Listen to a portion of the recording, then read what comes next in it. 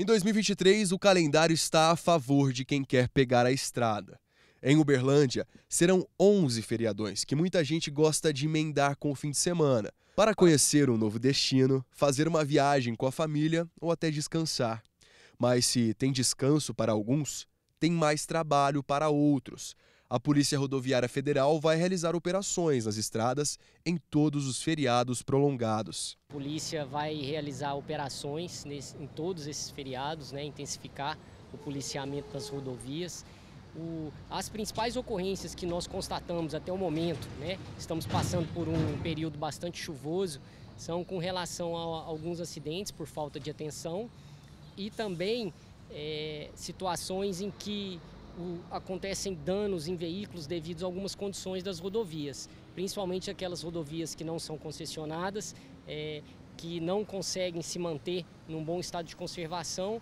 É, o usuário geralmente está dirigindo, passa em um buraco ou ou pode se, se, deparar com uma situação de risco na rodovia. Para evitar estas ocorrências, segurança é um item que não pode faltar na bagagem. Os pneus em bom estado de conservação, suspensão, freios, os faróis devem ser revisados e também o limpador de para-brisa é muito importante está em pleno funcionamento e plena eficiência devido a esse período que nós estamos passando no momento. No último feriado prolongado, entre o Natal e o Ano Novo, foram mais de 20 acidentes registrados em rodovias na região de Uberlândia, sendo 17 nas federais e mais 6 nas estaduais.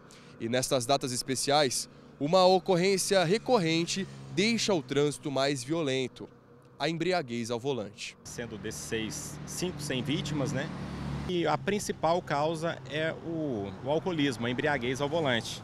Isso tem nos preocupado muito porque acaba que o veículo né, se torna uma arma na mão desse infrator. Né? Por isso, a Polícia Militar Rodoviária de Minas Gerais vai intensificar as fiscalizações de lei seca nos períodos de feriados. E com isso a gente conta né, com o etilômetro para poder estar tá aferindo ali se o, se o cidadão fez uso ou não da, do, da, da, do, do álcool, né?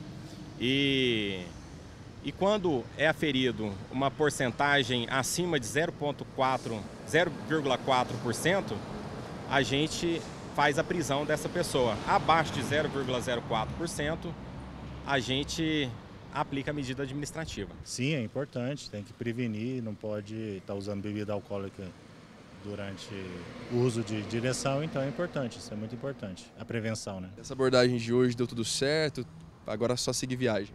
Graças a Deus, tudo certo, zero porcentagem alcoólica, tudo tranquilo.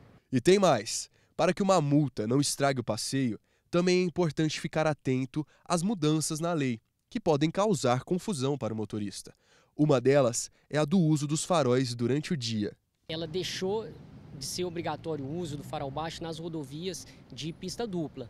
Porém, nas rodovias de pista simples ou quando o usuário estiver transitando, trafegando por túneis ou sob chuvas, sob neblina, o uso do farol baixo durante o dia, ele é obrigatório ainda. Ele também é obrigatório para as motocicletas em qualquer tipo de rodovia e também para os veículos de transporte coletivo.